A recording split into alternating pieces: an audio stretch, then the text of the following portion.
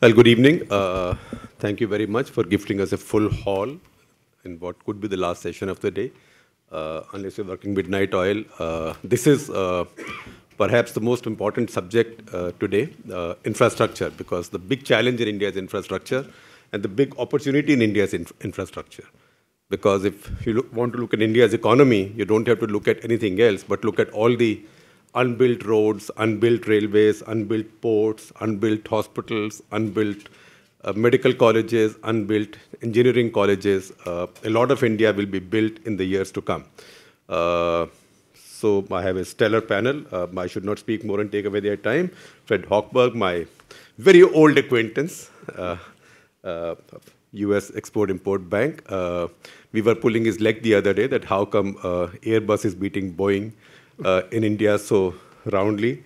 Uh, Mr. Nitin Not Gadkari. that roundly. Not that roundly.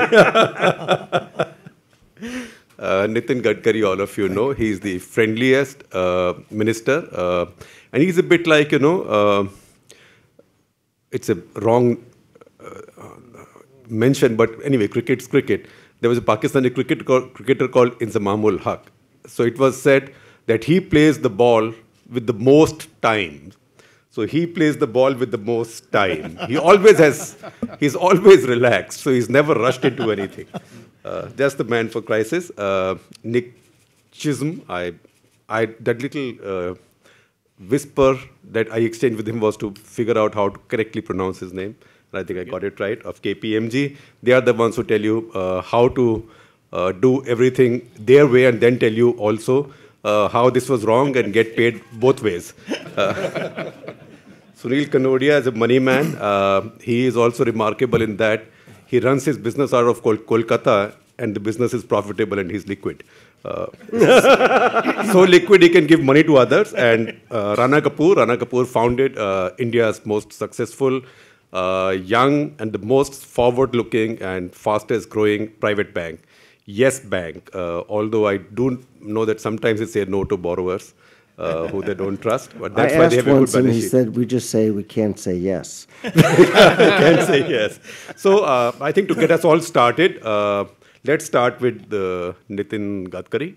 Uh, because he's made a big difference ever since he's come in. And if you take a poll anywhere, I think even Congress people, I know Gaurav Gogoi is sitting here, uh, they will tell you that one area that's moving uh, Gaurav Gogoi is a member of parliament from Assam in Congress. Uh, they will tell you that one area that has really started to move is highways. Uh, Nitin is in charge of highways, ports. Now his new dream project, which is the Indian River Waterways project, on which I am sure there'll be questions.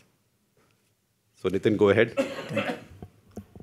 Sir, uh, we have the national highway length of 96,000 kilometer. Total uh, length of roads in India is 52 lakh kilometers, out of which national highway was only 96,000 kilometer. Every year, 5 lakhs accidents and 1 lakh 50,000 deaths. So we have taken a decision to convert uh, the national highway from 96,000 kilometer to 2 lakh kilometer. Already we have reached up to 1 lakh 75,000 kilometer. And after converting national highway into 2 lakh kilometer, 80% of traffic of India will, will be on national highway. There is a huge potential is available. We have already decided to make a four-lane road when the traffic is more than 10,000 PCUs. So we have a lot of projects now, economically viable, where we're converting four lanes. And the most important thing is for this year, the, we have decided to start the major express highways. The first express highway, access control express highway of the country is uh, Delhi Easterly and Westerly bypass. It was awarded already. Prime Minister giving us the target of complete within 400 days. Now 100 days already over. But I am confident that this road is which is going to reduce the 50% pollution and 50% traffic jam uh, uh, of Delhi will be completed within 400 days. We will inaugurate that and that will be a success story. The Access Control Highway of Delhi. The second is from Delhi to Jaipur and Delhi to Katra up to Srinagar. And the most important today, probably within three months, we will start the express highway from Baroda to Mumbai. The first package we will, we will go for the tender. So the in the highways now, National highway, we don't have any problem. We are in hybrid mode also. And uh, road construction at the time when our government was, at that time it was something 2 to 3 kilometer per day. It is now 22 kilometers per day. Our target is 42 kilometer per day for end of March. But today the highway projects are moving fast. And we have a new innovative model named as hybrid annuity, where land acquisition, forest environment clearance, utility shifting will be the response of the government. And at the same time, we are already uh, giving 40% as a grant in aid to the project and 60% is from investor. Out of 60% 30% is his capital and other loan will be given by the bank. And uh, already we have uh, sanctioned the projects more than 1 lakh crores in this annuity mode. And the toll will be collected by NHAI and uh, interest cost plus 3% profit we will return him back on annuity basis uh, this is a very success story now. Because of in Indian situation previously the investors position was not that much good. They are not in position to invest in it. So we formulate a new policy of hybrid annuity and where we have, have already we have a good response for that. The second thing is uh, our most important and priority sector is now inland waterways. And for this year today uh, we have already started work in ganga we are making three multimodal hub. One is at Varanasi, Haldia, and Sahibganj. We are making 40 water ports, five RoRo services, and uh, one we are changing the water gate in Farakka and maintaining the draft of 3 meter from Varanasi to Haldia, 1,680 kilometers. Already the works more than cost uh, for 4,000 crore we have already sanctioned and majority work is already work order is given. We have started now the RoRo services at the same time in, in Brahmaputra, five places. Our plan is to start RoRo services. We are making passenger terminals in our major ports to increasing cruise tourism. And uh, we are also very much positive and supporting for new investment in these uh, waterways and Sagarmala. Our all ports are in profits. The previous year, our profit was more than 6,000 crore. All ports, all organizations are in profit. We are investing that money in waterways. And for this year, we are going to start the work of 36 waterways. Where already the DPR is ready, we will go for the tender process. So I feel that the waterways can be a game changer because the logistic cost is very important. And by waterways, we can reduce the logistic cost which will really very helpful for the industry. So these are the important, but if you want to ask anything to me, I will try to give the answer of all these. Well, before others do, I'll ask you a question. Because uh, your, your waterways project is now under sort of environmental questioning and attack, uh, not just from activists, but also the Chief Minister of Bihar has said that you will convert Ganga into a series of ponds. Actually, unfortunately the misimpression in the mind of some people.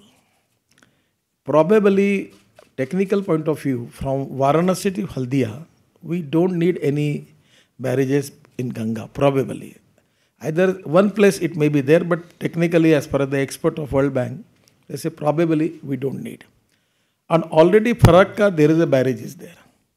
So we will maintain the 3 meter of draft. So there will be no problem for we are not going to convert it. It's a misimpression in the mind of the chief minister. He suggests me that even uh, the Farakka barrage you should destroy and I can't understand what is the logic behind it.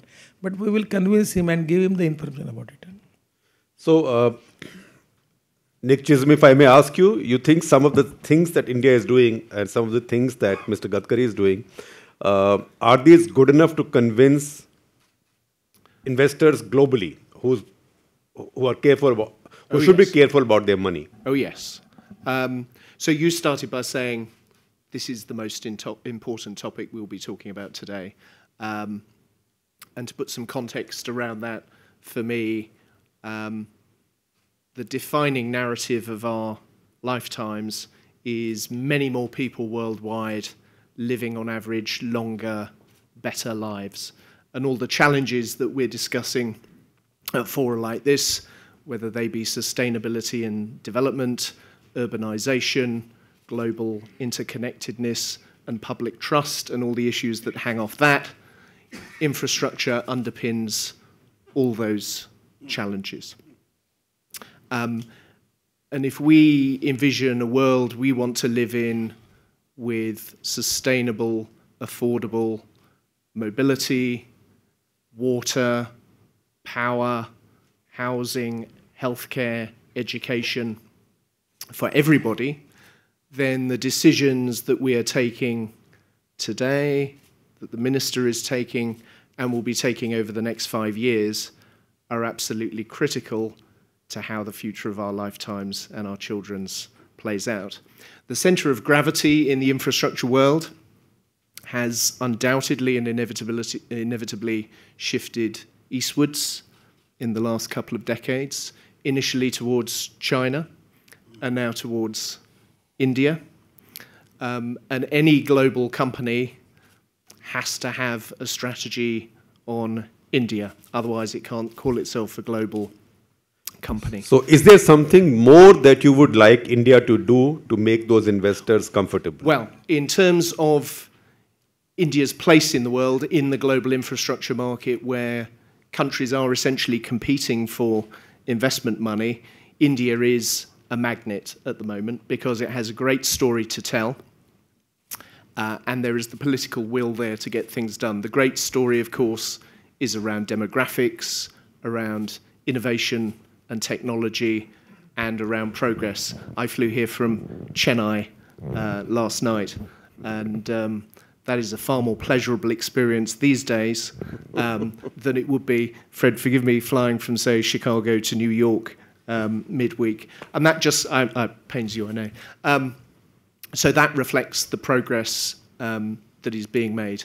And, and people want to invest um, in infrastructure, but India is at a bit of a crossroads.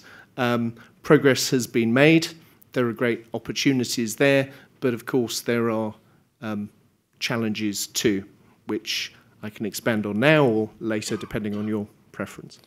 So since we are on the subject of global investors and global money, I think, uh, Fred, uh, right time for you to comment.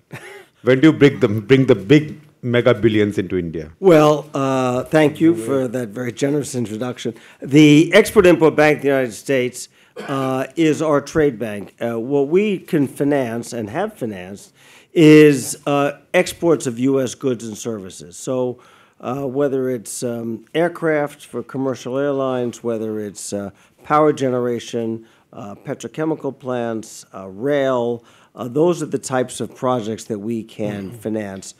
but our role is really in providing debt for those not equity, and it has to be attached to U.S. exports. So uh, India has been a very strong market um, for a long time. Was second only to Mexico. Um, there's a bit. We've had a little less activity in the last year or two, uh, but partly that's because I think there is more localization. You might be building the wall next, financing the wall next year. Depends if it's an export. uh, Mexico will borrow money from you to build a wall. I'll leave that alone. Uh, so I think that we we can see. Uh, you're making me choke with a comment like that.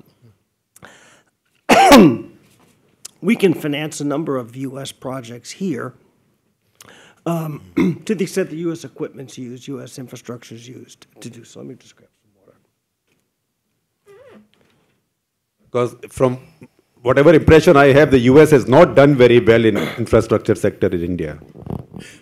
Well, most, I mean, when it comes to roads, there's not a lot that's really imported to build a road.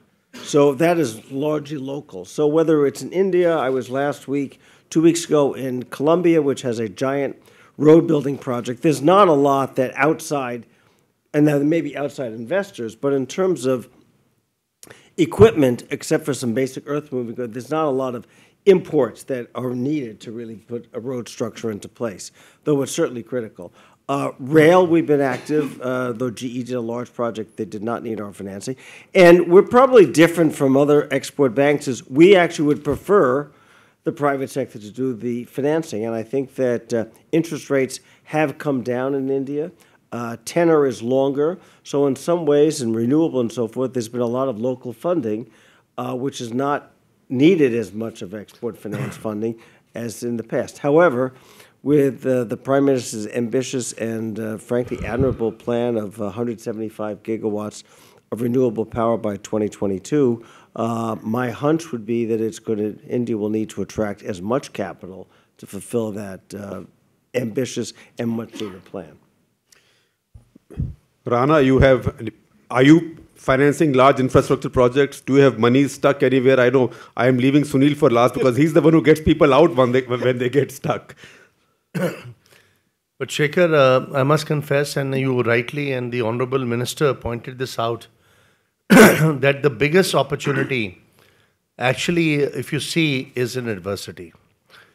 India's uh, infrastructure sector, which was painted like red, now has become green.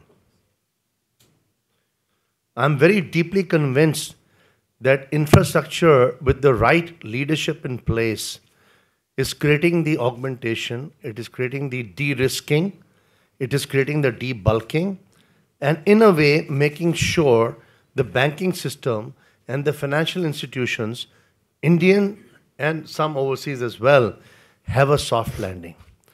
And I think the minister elucidated that very, very well that uh, the opportunity in itself in the future is going to make a very significant difference.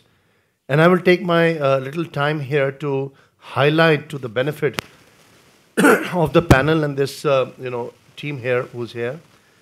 Number one, if you see India's urban infrastructure, I'll start with that, is probably the biggest opportunity in the world. You know why? Today we have approximately 31, 32% of our people living in urban and metro centers. This will potentially gravitate to minimum 40% before 2030 or sooner. What does that mean? What is urban infrastructure? Urban infrastructure is smart infrastructure, hotels, hospitals, educational platforms, building affordable housing, and creating a ecosystem which today we define as smart cities.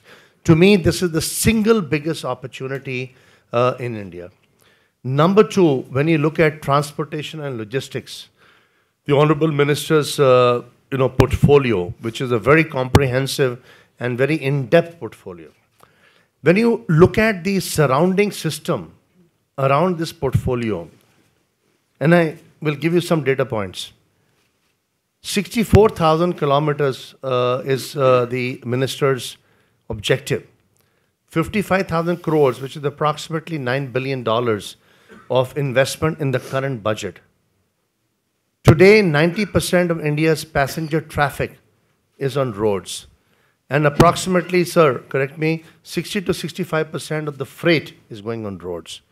It's the biggest opportunity in the world.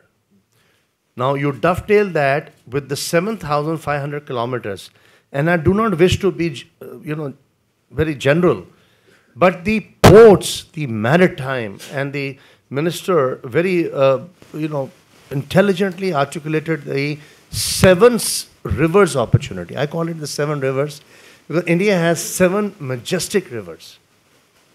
And the seven rivers opportunity in terms of maritime, in terms of transportation, low cost, sustainable, clean energy, those are opportunities that our Honorable Minister is highlighting.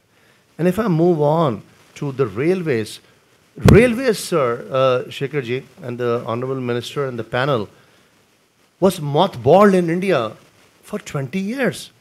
For 20 years, it was been mothballed. Not one inch has moved. In fact, we've gone probably backwards, not forward.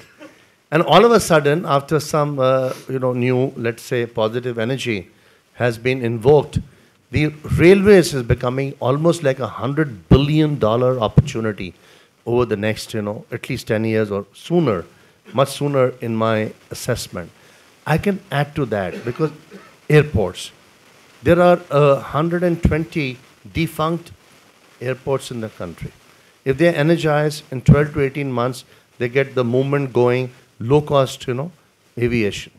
And if we build, in my opinion, tier two and tier three airports in India, it is uh, by far the most colossal opportunity in the whole world. And what it means in terms of uh, growth. Every 1% investment uh, incrementally in, uh, in our 1% investment in infrastructure as a percentage of GDP, and please, ladies and gentlemen, our GDP is only 2 trillion, right?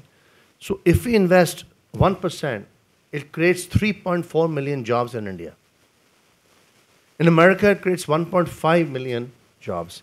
In Brazil, it creates 1.3 million jobs. So I think uh, infrastructure as a catalyst, as the Honorable uh, Minister has pointed out, is probably the biggest economic growth job multiplier. And naturally, we have to reduce the economic cost of funds by creating an Indian monetary policy, of which I'm a very strong advocate. So, so Sunil, how do you create that Indian monetary fund? So you start lending without charging any interest. and second, tell us also your experience of stressed assets, because you know you have the MRI scans of every stressed asset in India. Right. Yeah. Fortunately, unfortunately, uh, in my career in the last 28 years since we started, we have been just involved in infrastructure right from 89, 90. And I've seen this journey. I think India started its journey on infrastructure in a focused way in 96, 97 with the National Highway Program, uh, with uh, Atal uh, Bihari Vajpayee ji had driven. I was very closely associated that time because I was a member of the Planning Commission in the infra space. And we saw the change which uh, happened. I think in this last 20 years, India, the amount of PPP India has done, I think globally no other country has ever done that. So when you do something, then only you will make mistakes. So why did PPPs fail? So I'll tell you. So therefore, what happened was uh, when you really look at what is PPP, is a public-private partnership. When you talk about a partnership, you have to get the strengths of both the partners. Uh, the private sector brings in expertise, uh, skills, a certain capability, etc. The public sector, which is the government, and, and capital. Capital, no. That's no. where my question is. Uh, my and that's where I think a lot of models, which now it is getting evolved, as uh, uh, also said, uh, Honorable Minister, in terms of the hybrid model, etc. That you need to, when you create a, uh, a PPP model, you need to look at the strength of each partner. How people come together. We create a lot of uh, partnerships and businesses and all. You always look at the strength of each partner and then you bring in. The strength of the government is capital. The, no one can borrow as cheap as the government. Therefore, by bringing in capital on a longer term at a higher cost is in infra is criminal because you're loading the system, loading the economy. And that's what had happened in, uh, I would say, more so in the late 90s till about 2011 12, where there was a huge pressure that PPP will work. Everyone jumped into it. Capital came in, huge interest costs of 12, 14, 15, 16% also people borrowed and was building up the infra. It, is, it was not sustainable because you do not, you did not have long-term capital uh, virtually available in the country. Uh, the banking system started to get choked. And then when a crisis happened, and the crisis happened due to poor governance in 2010-11, when uh, we had various scams and uh, various Supreme Court uh, pronouncements, uh, governance went for a song because of uh, delay in uh, projects of clearances of uh, environment and land issues. So that shock shook the entire system. And that has been, I would say, the greatest learning also. If we look back now, uh, the amount of learning which India has had, no other country has. I think India can teach the world how infrastructure to be built and how it can be developed. My sense is that at this juncture where we stand today with a government committed to bring in the reforms and the change, uh, there are two kinds of opportunities. One, the opportunities for investors are in the brownfield assets. Uh, there's been a lot of asset which has been created or partly created, partly stuck. Uh, with the way the government has worked out to clear up a lot of these projects and the problems which are there, many of the investments can come into that to revive it, complete it, you have much lesser risk. Because in the infra, mind you, there are two kinds of risk. One is a risk during construction, and one is post construction. The construction risk in India is very, very high. And in the last seven, eight years, it has increased a lot more. Having been in that space for the last 28 years, virtually financed every contractor in the country uh, uh, and infra project, we have seen that challenges. People went in uh, for short term. So I think that is where there's one opportunity where investors can look at brownfield assets where the construction risk has been virtually minimized or has almost gone. And that's where I think uh, India today stands in a great position because globally there is a huge capital sitting there with virtually most countries having negative interest or very low interest rates. And if we can get our act together, which is happening now, we can very well attract that capital into that. We need to correct our financial system. Today, the challenge in the last few years, which we have not been able to, that how do you unlock the banking system to be able to take decisions, uh, cut loss, and move forward. And that's where the process has got stuck and has been a little slow in the journey. I'm sure with the efforts of all, uh, it will start to get uh, unlocked. The second area, I believe, uh, where the infra opportunity would be there in the green field, I would say would be a little different. Uh, there, the private sector's focus during construction period should be to develop and build the infra. The financing part, handholding has to be done by the government for the next some time. Once the asset is created, uh, the government as a partner would be the, in the best position to then attract investors globally into an asset class which will be long term, which is required for pensioners to get their uh, returns, and which will be safer. So, uh, Nitinji, uh, you agree with the idea of changing the concept of PPP in such a way that capital is actually brought by the government? The ground reality, what he says is absolutely correct. Because of last uh, five, six years, the Indian investors and contractors, they are facing a lot of problem. But they also. So I'm giving why? you the solution. As a government, no, we don't have any problem for investment. You are all welcome, but I am telling you about my financial. We don't have constraints. Even we construct in Mumbai, uh, the Bank, Mumbai Baroda Express Highway of 42,000 crores, we have decided to make it in EPC mode.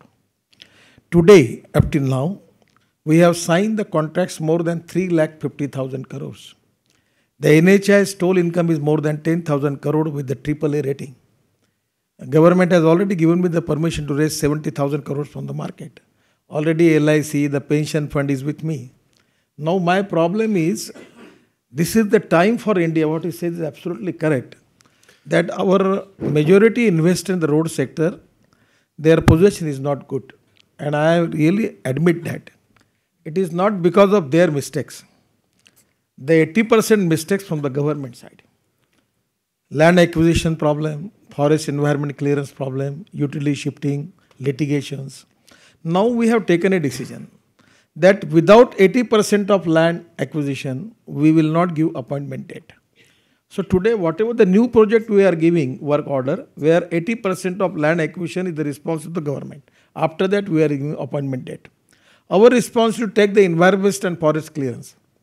And now that is the reason still we are also the uh, for this uh, hybrid annuity is only because of the situation. Because in PPP, people don't have that much uh, investment capacity. And even today, in my department, my own financial strength, there will be no problem for me to give more construction of more than 3 lakhs crore to 5 lakh crores, even in EPC mode. By which I am going to strengthen the Indian investor, Indian contractors. And after that, they will be in position because banks are not also in good position. And I am also telling you one thing. At the time when I taken charge as a minister, uh, Mr. Rana, at least his bank, people coming to my office 10 times. For every proje- project, with every banker, either at any bank in India, there was a meeting at night 12 o'clock. And every time we discuss the issue, government has taken 21 cabinet decisions. And out of 403 projects, where the investment involved 3 lakh 85,000 crores, out of which 95% problem already we have solved. Just a difficult task like Delhi, Jaipur.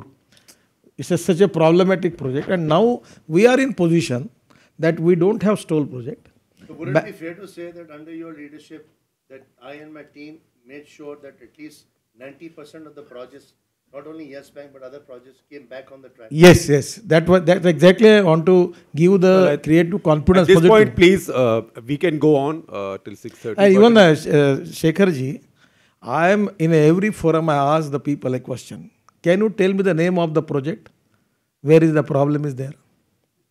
And suppose because because of four five years CXR problems, there is a concept uh, perception in the mind of the people that there are a lot of problems. Now project are facing problem. But after a two and a half year, the situation is changed, and everywhere in Delhi Dehradun project, uh, Delhi Jaipur project, Delhi Ludhiana project, all are moving fast. So my my my request to all of you, presently, what are the problem previously problem? Our government has taken 21 decisions by which we have already improved the situation and 95% of problem already we have solved. So now the, this is not a situation. It can be a positive situation for you to invest in it. Please, please raise your hands and ask questions. Just introduce yourself and uh, ask a question as briefly as possible. My question is for the Honorable Minister. It's always so uh, pleasuresome to hear you. You're on top of all the numbers. It gives us the confidence that things work out. Uh, your account on the highway projects, enhancement of the total kilometers, enhancement or debottlenecking sounds great. But what about within the city roads? The quality is so poor. I know it doesn't come under your ministry directly. Uh, you can take the shelter there. But you know, uh, Minister, I'll give you one small illustration. People from Gurgaon, if they have a meeting in the morning in Delhi, they check into the hotel previous day. So You know, he, is absolutely correct. But in I'm Bangalore- telling you, Yeah. just front of this hotel, the road is here. It is not with me. But I have to face the problem every day. I am coming from Nagpur, and after airport, it takes one hour twenty minutes for me come to, from Nagpur to Delhi, and from Delhi airport to my house take it one and a half hours, somewhere two hours. So, without I already decided to make it road national highway from that uh, the, uh, 13 Murti lane declare it. And now I am making all this road winding. I taking the land from the defense ministry also and also up to Gudwa we have already started four flyovers there You know, you people forget that he built India's first private road, public-private partnership road, no the, the Mum- Mumbai Pune Shekharji, Expressway. even I construct 55 flyovers Worli Bandra sea link project and Mumbai Pune express highway uh, all without. In fact, he- actually he, the he, he founded the idea of privately funded uh, infrastructure. Uh, question there. Uh, my question is also for uh, the minister. I've had the privilege of working uh, for him when he was the PWD minister in Maharashtra. So, my question is at that point, you were dealing with a certain scale of problems and a certain scale of city, in fact, 17 flyovers in Bombay as well as in the state. What have you found that is similar at the national level and what has been different? What have you had to do differently at the scale?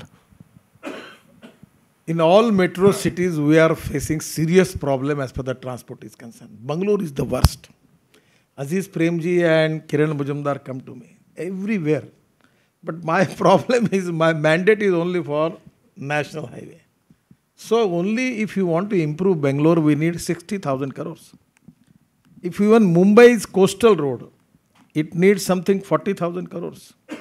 And is a somewhere we are requesting to planning commission and the PMO that we have to look because these are the serious problem.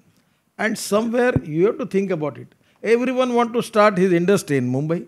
Everyone want to go in Bangalore. Everyone want to go in Chennai. How this can be? How how we can solve this problem? Somewhere we need decentralization of the industries, decentralization of development, and other sites are also equally good. And even one of for the best things, one of the best things happen- happening in India right now is that a whole new capital city is being constructed, Amaravati in Yes. Andhra. It will be the first city India will build after Chandigarh in the 50s. yes. Full city. It's not just a capital. Uh, Gaurav Gogoi, a young member of parliament, from the most infrastructure-starved region of India.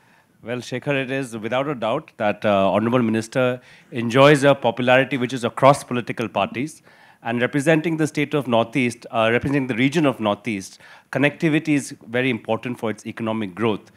how, what is the ministry's view of connecting uh, rest of India with Northeast via Bangladesh through the old road, rail, and waterways route? Because it would reduce logistic costs and, of course, bring people closer together. Already we have signed the agreement between the BNN Bangladesh, Nepal, and Bharat and Bhutan. So the ADB is already ready to finance more than 30,000 crores for that project. My most problem is uh, regarding Northeast, we have already formed a uh, NHIDCL, a special organization for Northeast and Hill area. We have already given the mandate of constructing the road construction more than 1 lakh crores. And today already we have signed the contracts more than 40,000 crores. But unfortunately, I am telling you about Assam. I'm, I'm, I'm very much unhappy about Assam. The land acquisition problem, somewhere the forest problem. We need the cooperation from the state government also. And our projects are facing the problem. But re related with Bangladesh, what my suggestion is, in Sagarmala, we have a meeting with the Minister of Bangladesh. Our 95% of trade with Bangladesh is on the road. So our idea is now by this waterways, Sahibganj will be the multimodal hub and we will take material from Sahibganj to Chitgaon. And by Chitgaon, it will go to northeast. It can save the cost. So that highway from Agartala to Chittagong. Yes, yes. And even Bangladesh is ready for it. Bangladesh is having, we have got a very good cooperation from Bangladesh. We have signed all the uh, agreement related with Brahmaputra. Already, I am not exactly, but there are some 15 to 16 places in the, there we have started bus service to Bangladesh. And uh, even we are going up to the Myanmar. And even uh, in Nepal side, in Bihar and Uttar Pradesh, we are constructing the roads. The situation was not very bad at that time, but we are giving priority for that. But my request is, which I need cooperation from the, your organization, CII, that we want to organize a conference in Dhaka and Calcutta with a cooperation of Bangladesh. And the minister has already promised me, we will, Bangladesh government and Indian government will work and we want to divert, diversify this 95% traffic on the road to the waterways. It can be a cost effective, pollution free, and it can be very useful. It will increase the trade between the two countries. And already Bangladesh is ready for that. Today also we have taken the Maruti car from Varanasi to Northeast and Assam. It's going on. Uh, four days before I was in Cochin. Really a good project starts. They have taken some uh, 3000 cars from Chennai and coming to Cochin after it to Kandla. And uh, at the same time, the Nano has given them 400 cars. They're taking with it, and now they are taking it to Chennai. And now Mahindra and Honda is also interested to transport their car. Even fertilizer, steel. Uh, it can be a really Actually, logistic point of. It's true. In India, we've never used our own coastline for. Uh, Yes. Uh, Nick, uh, all the stuff that India is doing now, or India has been doing for the past few years, you think it now impresses global investors, or you think they still have concerns? Yes, I think so. Um, and going back to an earlier point, um, the scale of PPPs done in India is is truly impressive. And we talked about learning as well, and I agree. It's a two-way learning process. The rest of the world can learn from what India has done, as well as, of course, India learning from best practice around the world. And also, India has much to teach neighboring markets like Bangladesh, Central Asia, the Middle East, Africa, um, and Asia. Um, I facilitated a workshop um, first thing this morning on accelerating India's uh, infrastructure, and the, the discussion was very good and wide ranging over a couple of hours, but broadly the conclusions were, and I summarized them as two ABCs, and we've touched on some of these points already. Um, ambition, building trust, and um, capacity at the visionary, at the uh, strategic level. I think uh, in terms of vision, India does this um, as well as any country in the world. It's a master at investment promotion. Um, projects like Make in India have a global profile um, these days. But I would um, urge you all to continue to um, publicize your pipelines and your, your plans because there are a lot of decision makers sat in investors around the world who maybe only come to India once a year and maybe don't leave an environment like this. So I would use every opportunity to continue promoting what you're trying to um, do here. And I don't know if someone in this room is already thinking about the potential of virtual reality, but I wouldn't be surprised if the first national infrastructure plan I see on a virtual reality headset might be one from India. Um, the theme of building trust was also uh, a recurring theme um, throughout the, uh, the day, asking um, the public sector to put itself in the shoes of private investors um, to understand the uh, commercial perspective. Um, and then on um, capabilities, uh, the need to build skills, and there was strong support for the idea of a central agency. Then at the more mundane project level, there was uh, debate around the allocation, um, the allocation of risks, um, bankability, um, and continuity of policy. Thank you. Uh, Rana, uh, before you, Sunil, uh, after you, Sunil talked about defreezing the banks because banks are frozen. You think that situation is beginning to thaw or not yet? And if not, what can be done? I think there are uh, more than two compartments. There's a compartment which is going through compression and uh, maybe some introspection in India, which is uh, the public sector banking system. But uh, nevertheless, I must confess, with the very proactive leadership, it's getting out of inertia. I think the wheels are moving all over again. I must say that with the proactive efforts of the government, that the wheels of the public sector banks, which were stuck for about the last two years, are beginning to move. They're in first gear. Uh, if I have to put some, you know, illustration to that.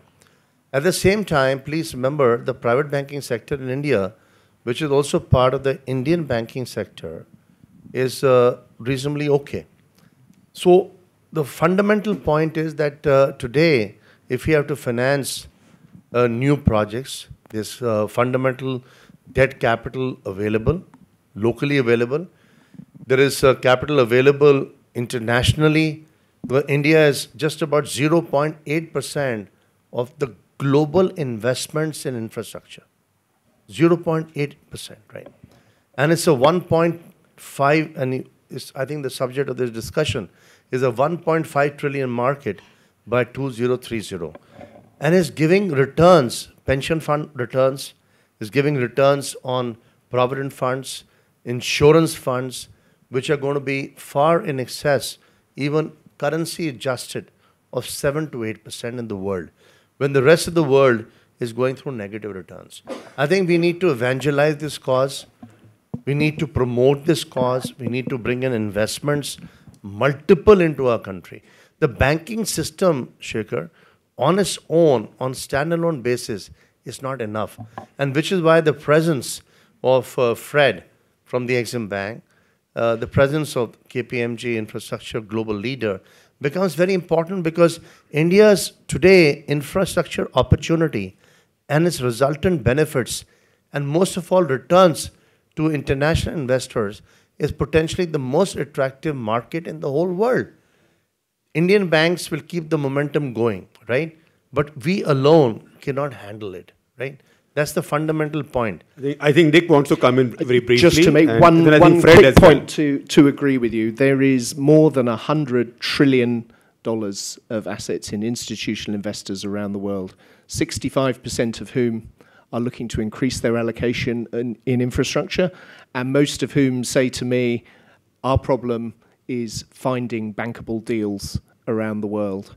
And everything that's being done in this country, like people like the minister, is absolutely correct to fix the problems of the past and make projects more bankable. So I agree with you. There is a wall of money out there um, waiting to find bankable projects in this country. But sir, if you just allow me just one more minute, if you see fundamentally, India needs uh, because we got a lot of capital locked in.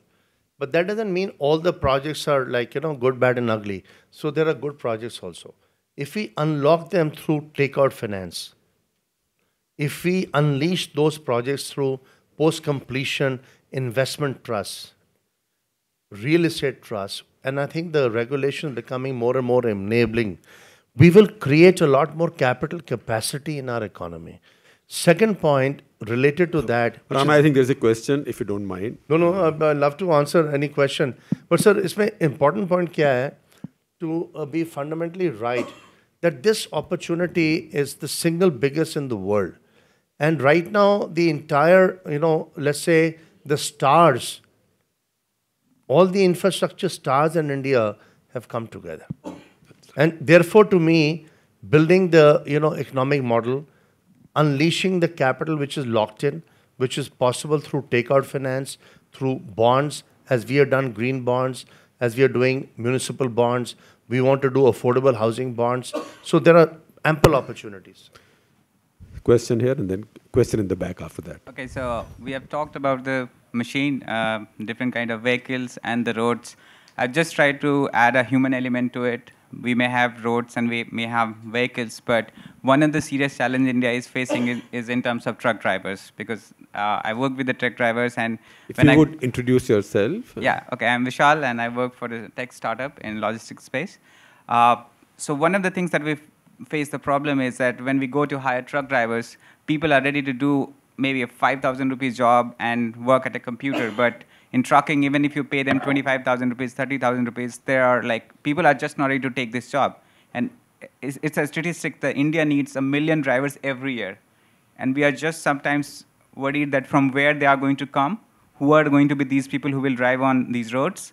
So my question to the panel and maybe to the minister is how we can. There are a lot of innovation that is happening in this space where we are doing a driver relay model through which trucking is a day job now. Uh, there is truck, truck aggregation, all, all those things are happening. But how we can work with the government to make trucking sexy again, where people people like take this job as a matter of pride. We have already shortage of 22% of drivers. So our idea is we are opening now the driving training centers, those who are authorized to give fitness certificate and pollution certificate. And a company like Mahindra, Tata, Ashok Leyland, already we have opened 22 centers where computer is taking the exam, the driving test and declare pass and fail and giving it this information to the minister, uh, to the transport ministry by satellite. And after that, within three days, it is mandatory for the officer to give him the license. But presently, you are absolutely correct. We have shortage of 22%, and our plan is in next two and a half year, we will at least want to open more than 3,000 driving training centers, not in the city urban area, big Delhi, Mumbai. It is in the rural sector, tribal sector. Our plan is to open, and I will request you to the automobile manufacturer. Already, lot of centers are opened by them, but the companies are ready to open these driving training centers, fitness certificate, and other thing. Uh, we are open and we will give them opportunity for that. And you, what your problem is a genuine problem, and after two and a half year, somewhere within four five years, it will be solved. There will be surplus drivers. Question there. So my name is uh, Prateek Agarwal. I'm from I run the infrastructure business at Vedanta Group. Uh, there's no doubt that the core investment in PP uh, in infrastructure in India through PPP has done a fantastic job, barring a few projects. But so what about basic utilities of water, broadband, and gas uh, and electricity, which continues to be completely in government hands except for a few cases? And of course, this is a state subject, possibly not a central subject. But can there be competition in those sectors where people compete to provide water to each of us, and then maybe we'll get good quality in, in that space? And just for anyone Uh, in the it's panel. not with my, my department, I am telling you because I'm from Nagpur. I'm the first person in India. We are selling our municipal sewage water to government of Maharashtra, getting 18 crore rupees royalty. After this experience with Uma Bharti ji and Dharmendra Pradhan, we have started one project in Mathura by taking 20 mld of sewage water of Mathura, making recycling of it, and giving it to the Indian Oil refinery in Mathura. Now we have 70 projects, and I am telling you, this is also the one of the important sector. We we can create the economy of 10 lakh crores in this liquid waste and solid waste. We have taken a decision. This Gazipur is a big fountain of this all garbage of Delhi. We have taken a decision to segregate that garbage, and now we have decided to use in it a Delhi Meerut Express Highway. So the conversion of waste into wealth, it can be a good thing for CII, and it's I am confident that this can be economy of 10 lakh crores. And on PP basis, PPP basis, it is uh, it is viable. At the same time, even government approaches for the gas and power everywhere, uh, approaches to create a private to give opportunity to the private people for investment in this project. Fred, would any of this invest uh, interest you and your investors? Well, uh, w- again, we at Exim Bank don't really work with investors. We're going to work with Yes. companies here that are going to be purchasing those tools. One thing I would say earlier, um, but having a balanced plan because uh, to the extent that the rail system gets built up, it takes pressure off the road system. I was just recently in Egypt uh, where it's much more extreme.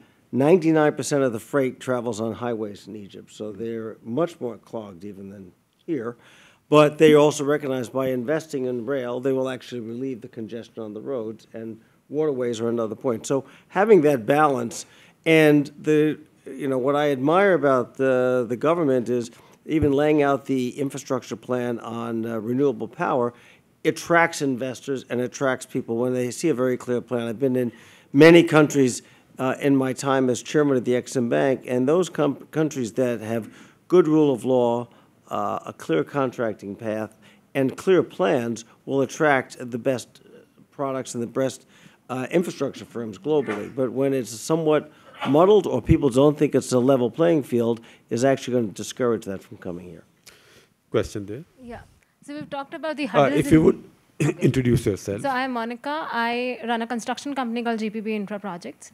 So we've talked about the hurdles here. Uh, I guess the major hurdle which I face is the sexism in the field. I'm not surprised to see all the women, uh, all the men sitting out. It's a in government. manel. it's a manel. So it's, it's not a panel, it's manel, I would say, of Yes. course, I'd agree to you.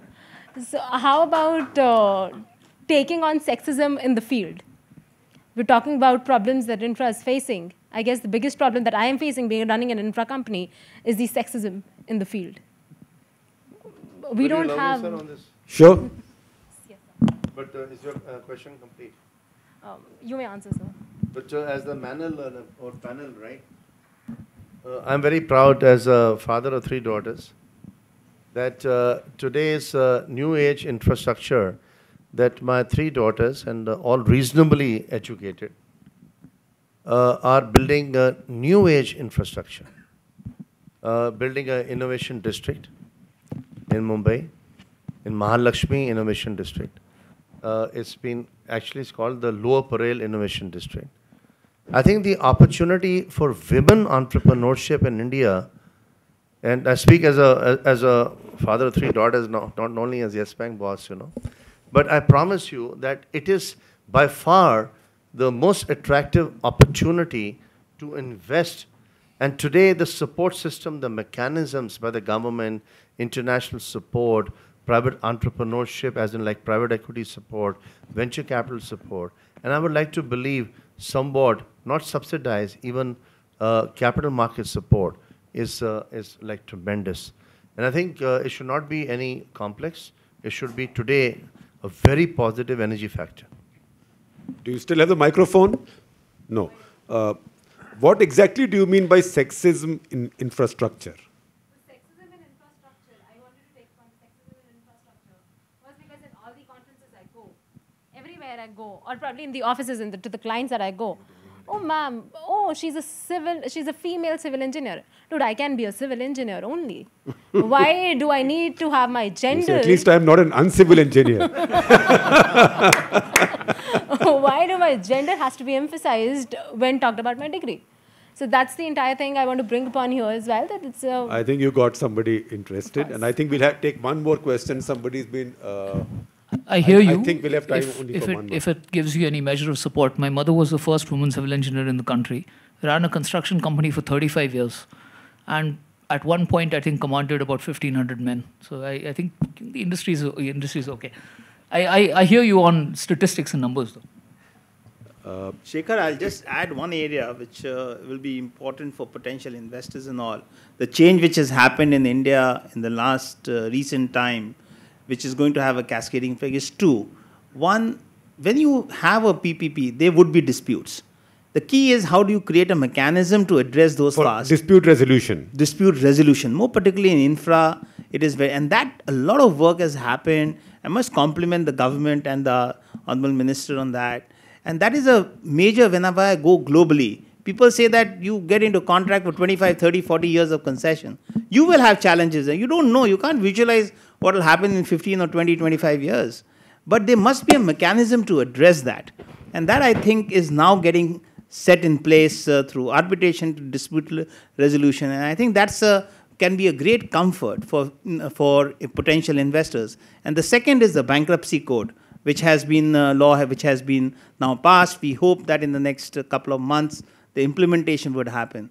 These are things when you create a mechanism in the environment in the economy which gives confidence to investors that okay, if there's a problem, there is a sys- sys- m- methodology uh, there which can solve it.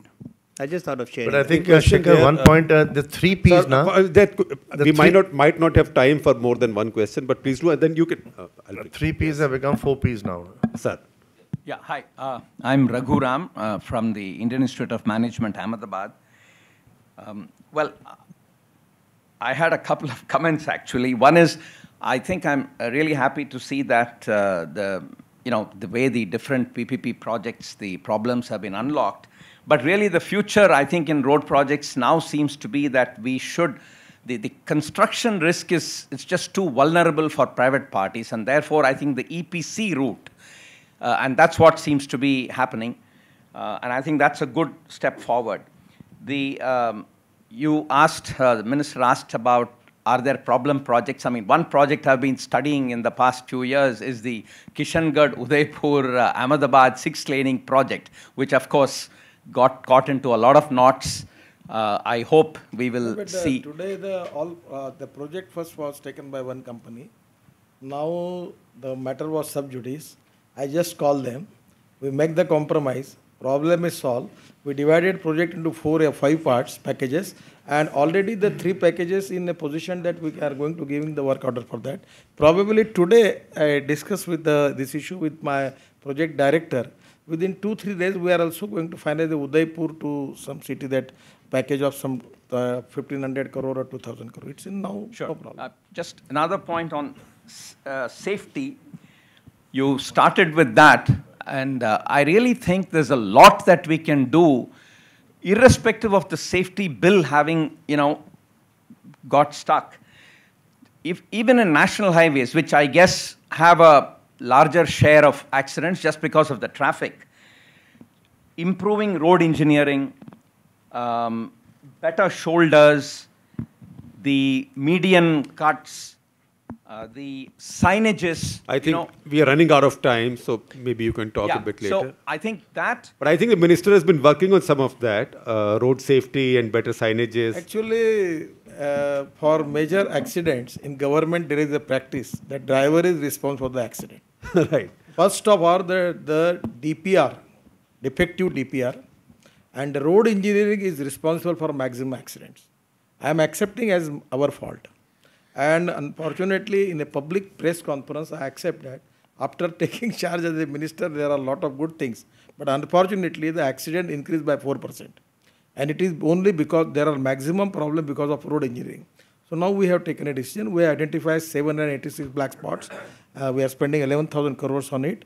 And at the same time, we are making 100% uh, CRF fund to the state government for that. And uh, we are making traffic signal system, uh, crash barriers, uh, signals, uh, the marking system of internet standard. Uh, just one month before I was in USA, we are just taking, or adopting all of your rules, regulation related with that.